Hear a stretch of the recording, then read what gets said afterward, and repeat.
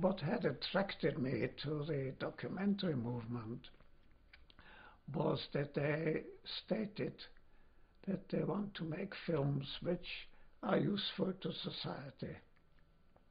And that uh, I did appreciate, and uh, I was very glad to join them.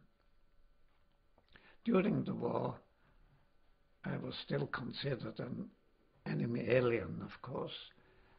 I refused to have a German passport, and I got a stateless uh, document uh, as an identity document.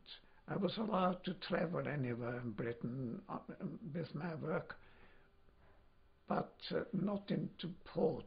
I was not allowed in ports.